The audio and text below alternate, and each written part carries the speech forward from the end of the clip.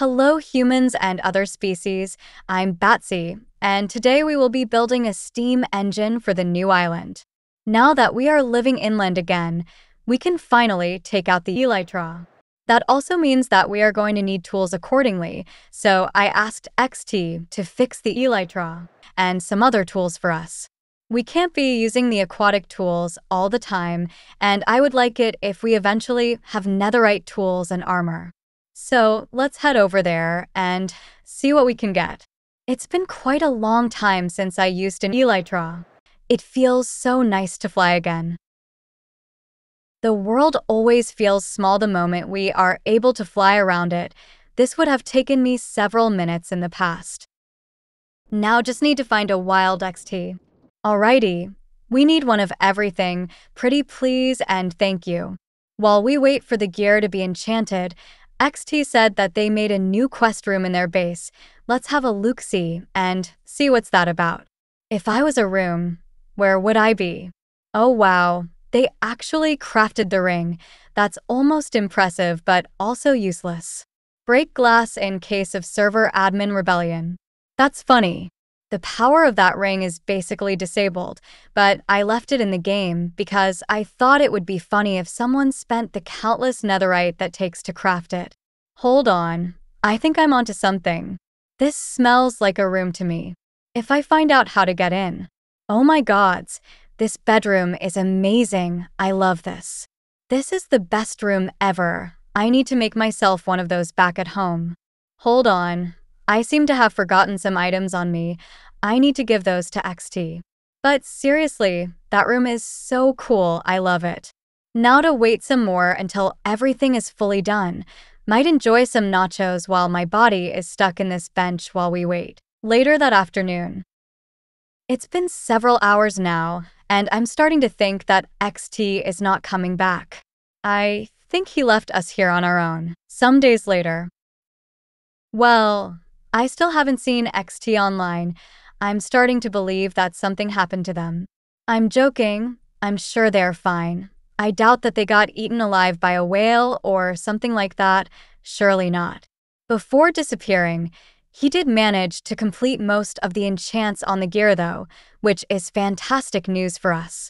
Now we can start working on the steam engine. And it would be ideal if we can power up a flight anchor, so we're going to need at least two steam engines. We want some passive power to feed water and lava to the engine. Maybe three big water wheels will be enough for now. Alrighty, all the toolboxes are set up.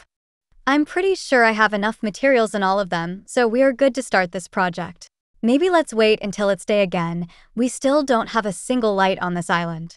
The initial idea is to have some water wheels on the ledge of this area, and have the water run over them and down onto the sea like a waterfall.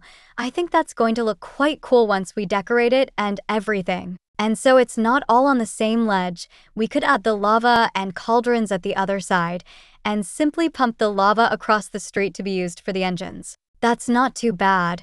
It's right on the edge where the stone starts at the bottom, and the water will start right at the floor level.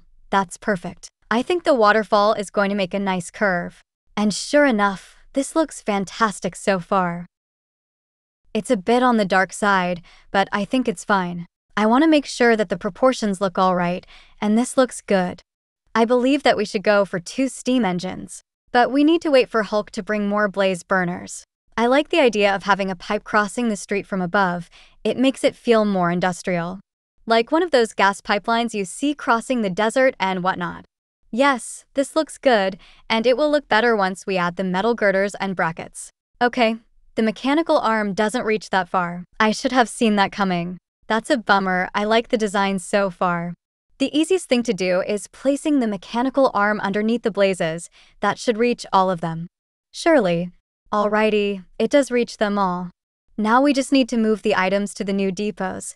Nothing that a couple of belts can't fix. Next we place down the fluid tanks.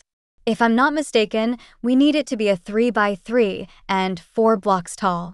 Although I never remember if it's 4 blocks tall or 5. Nah, I'm sure 4 blocks is fine. And of course, we ran out of tanks. Good thing I had enough materials for the project. I'm pretty sure I have enough materials in all of them, so we are good to start this project. Nothing that a quick trip to the industrial district can't fix.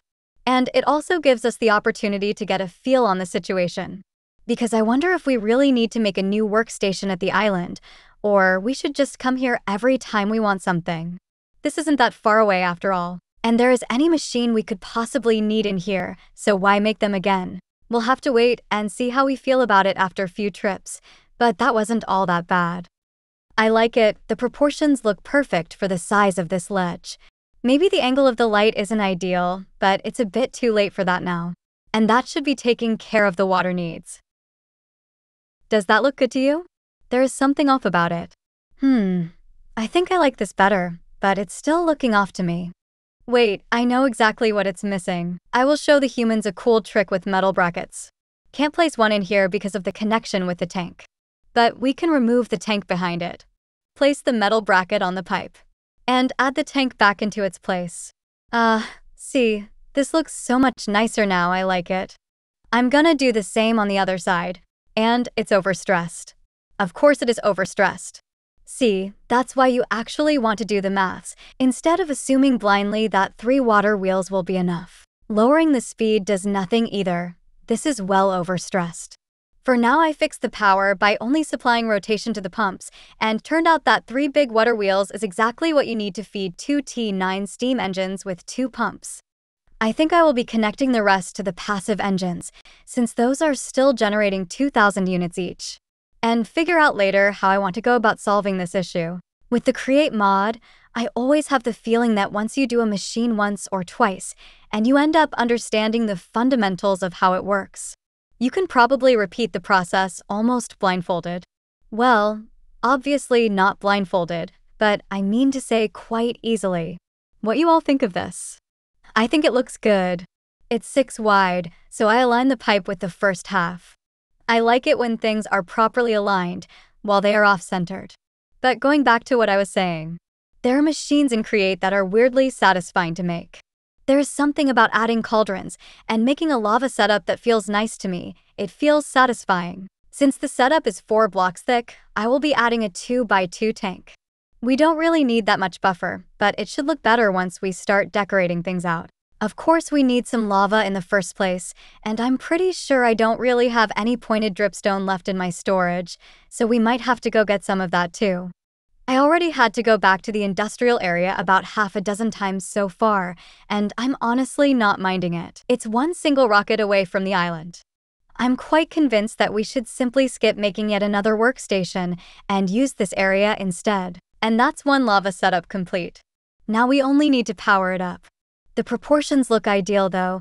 This is exactly what I had in mind.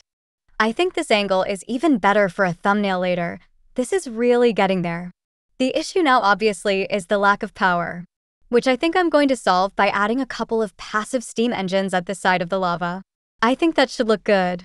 See what I mean? This looks fantastic. And of course those engines also need power, so we need even more water wheels. Alright, I think I'm finally done here. I basically made a water wheel that powers a steam engine that powers another steam engine that is powered by more water wheels. But the design is quite cool. I like how the water wheels look attached to the passive engines. It really looks like it belongs there. After a few touches here and there, this is what we have so far. I need to fix a couple of stability issues, but the engine is essentially working now. I even went ahead and added a flight anchor to make our lives easier when decorating this thing. And speaking of decorating, that's exactly what we are going to do next. It looks cool and all, but it could look so much better. I have a rough idea in mind of what we are going to do, and this time for real, I do have all of the materials we need for the rest of the project. So without further ado, let's get into a neat little time lapse. Or maybe not because the replay mod decided to break again. I tried tweaking the mods, but it's taking me a while to find which mod is messing with IDs. And now the game crashed entirely. I guess that's no time lapse for us today. Some more hours later. It is done. The build is fully complete. I don't want to wait any extra second to show you all my masterpiece. Check this out. It's cool, isn't it? I actually have no idea how I ended up making a massive skull to cover the steam engine. My plan was to make it look like a thermal power plant. But then I thought maybe a small skull could look neat to cover the lava, and well, one thing lead to another, and here we are. I would love to say that I made the design, but I'm nowhere near that good with organics. I found this really cool design for a facade and thought it had the perfect dimensions for this. I will leave the video on how to build this in the description below in case any of you would like to use it too. It's a really nice design. I really like the contrast that the calcite blocks make with the rest of the green ledge, and even the black on the inside, which is covering up the steam engine from this side. I tried leaving the steam engine visible, but it wasn't looking as good. I think one of the coolest touches are the water wheels. Moving them inside the school was the right decision. It all came together so well. And the waterfall ended up looking fantastic. I honestly love how everything turned out, couldn't be any happier. I did struggle a bit deciding what to do with the backside, but as I was building the skull and the surroundings, I tried adding a couple of supports, and I honestly loved how it looks. I like it that the steam engine is well visible from this side, but there is more to show than just the looks. There was a depot here that I ended up removing. I simply added a chute underneath the main depot since that pretty much does the same thing. It's a bit hard to see, but I also changed the target of the mechanical arm to be the funnel instead of the depot. That way the output can only be the empty buckets. It's essential to avoid the arm from looping the circuit. We could honestly remove the depot and place a vertical funnel like that, but I like how it looks and it still works perfectly fine, so I'm not too bothered about it. We also ended up having too much excess power from these passive engines. So I took some of that power and moved it to the main steam engine to power up the remaining components.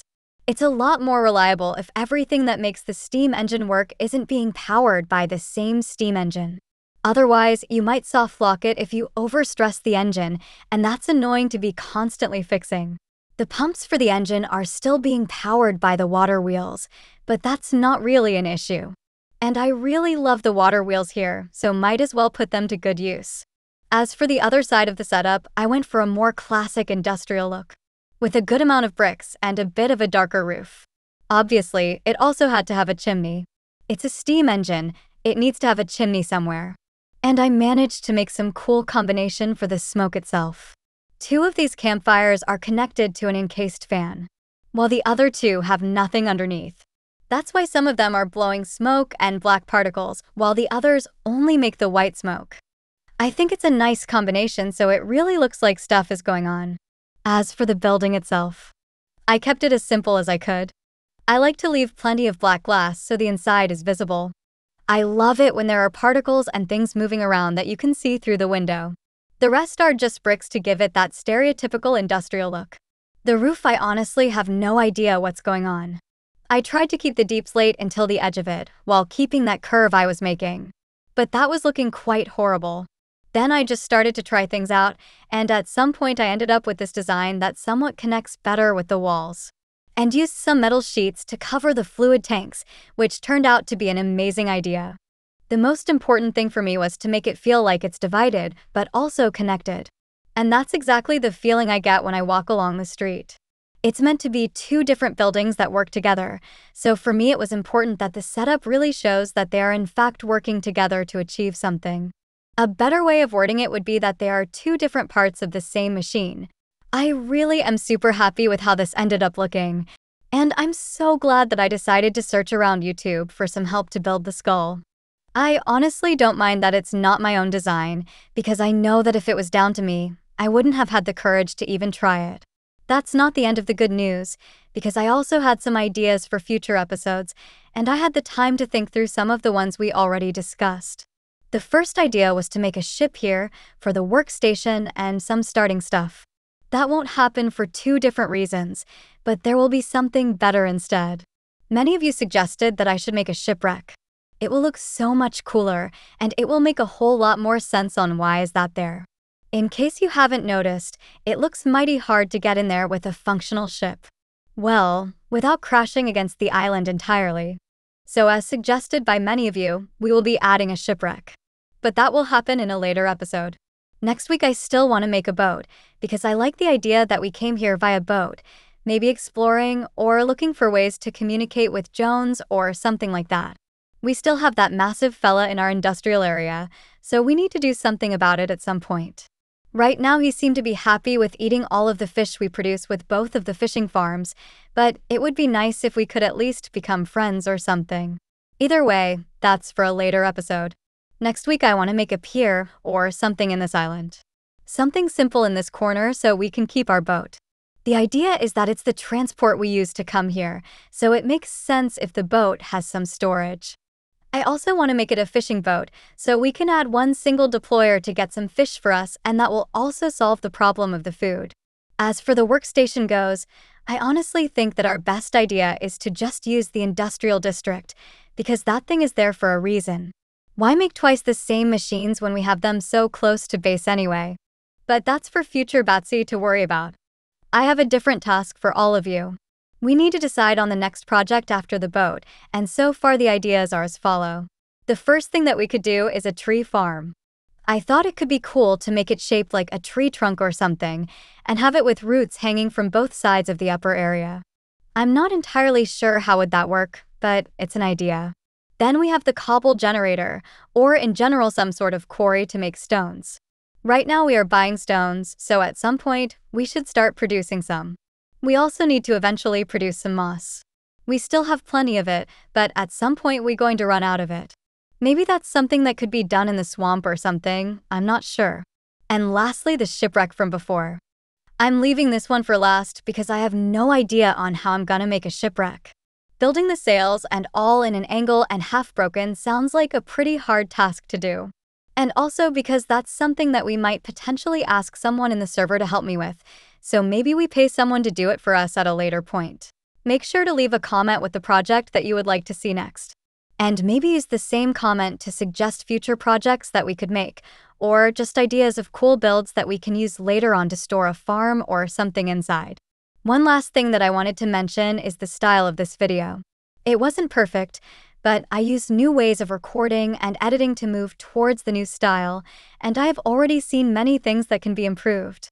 Without roasting me too much in the comments, I would love to hear in general what you think of the pace and flow of this episode. Doesn't need to be super specific and critical, just that if in general felt good or not. And with that said, this will have to be it for this episode. Thank you so much for watching, and I will see you all in the next one.